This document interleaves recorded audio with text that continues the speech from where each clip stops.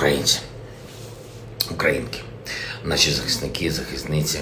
Завершується 68-й день нашої оборони. Міцної, 68-й день самознищення Росії, самознищення в усіх сенсах слова. Якщо колись у цієї держави і були те, що називається репутацією, то зараз Росія щоденно робить такі речі, які просто виключають будь-яку адекватність. Вчора, наприклад, міністр закордонних справ Російської Федерації відкрито і не соромлячись сказав, що найбільші антисеміти нібито серед самих євреїв, і що нібито Гітлер мав єврейську кров. Як взагалі можна було таке сказати напередодні річниці перемоги над нацизмом? Ці слова означають, що найвищий дипломат Росії перекладає на єврейський народ провину за злочини нацистів. Немає слів. Звичайно, сьогодні з приводу цих слів великий скандал в Ізраїлі, але тим не менше ніхто не чує заперечення або виправдань з Москви, а там мовчать. А значить, погоджуються із тим, що сказав їхній міністр закордонних справ після російського ракетного удару по Бабиному Яру в Києві, після пошкодженого обстрілами Минори на місці масових розстрілів в Дробицькому яру поблизу Харкова, після загибелі від російських обстрілів людей, звичайно, які пережили нацистську окупацію і нацистські концтабори, такий антисемітський випад їхнього міністра означає, що в керівництві Росії забули усі уроки Другої світової війни. А може ніколи і не вчили тих уроків. А тому питання, чи залишиться посол Ізраїлю в Москві? Знаючи таку їх нову позицію. Чи залишаться відносини з Росією, як зазвичай? Бо це все не випадково. Не випадкові слова російського міністра закордонних справ, великого знавця гітлерізму. Не випадково російські окупанти на українській землі створюють так звані фільтраційні табори, через які проводять тисячі тисячі наших громадян, українців, де вбивають, катують, гвалтують наших людей. Не випадково окупанти захоплюють цивільних і вивозять як заручників чи депортують як безкоштовну робочу силу. Не випадково вони ведуть так звану тотальну війну на знищення усього жилого, після якого залишаються тільки що спалені руїни від цілих міст. Щоб робити все це, потрібно повністю відкинути мораль і здобутки переможців нацизму.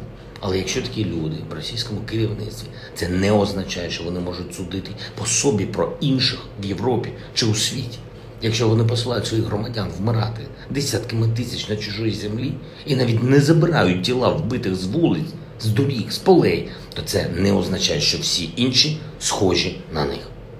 Якщо серед них є люди, які самі походять з України, але підтримують винищення українців, українського, то то це не означає, що всі інші відмовились від нормальної людської моралі. Сьогодні російські війська нанесли черговий ракетний удар по Одесі, зруйнували гуртожиток, вбили хлопчика 14 років, поранили дівчинку 17 років. У неї осколкове поранення. Що це взагалі? Для чого? Чим російській державі загрожували ці діти і гуртожиток? А ось так вони воюють. Ось і все. В Лисичанську, Луганську області від російського обстрілу згоріла гімназія, якій, до речі, було понад 100 років. Її побудували ще бельгійці для цього міста. Вона витримала дві світові війни, але як бачимо, і ця гімназія виявилася загрозою страшною для сучасної Росії. 220 українських дітей вбиті російською армією за час з 24 лютого. І це ми ще не знаємо не про всіх, бо не маємо доступу до тимчасово окупованих районів нашої держави. 1570 закладів освіти зруйновано або пошкоджено внаслідок обстрілів. Це трохи більше, ніж за два місяці. Саме тому весь вільний світ об'єднався, щоб ніхто не виправдовував нацизм, щоб ніхто не вбивав дітей, щоб ніхто не руйнував мирні міста. Як це робить Росія? Сьогодні в Києві я зустрівся з міністром закордонних справ Данії, обговорили увесь комплекс питань наших двосторонніх відносин, передусім оборонних, фінансових, політичну взаємодію. Бачу прогрес виконання тих домовленостей, які були досягнуті на переговорах з прем'єр-міністром Данії. Вдячний, отримав хороші сигнали. Обговорили і плани щодо відбудови України після війни і підтримку нашого руху до Євросоюзу. Вдячний за те, що Данія відновлює роботу свого посольства в нашій столиці. Це вже 29-те іноземне представництво, яке повернулося в Україну.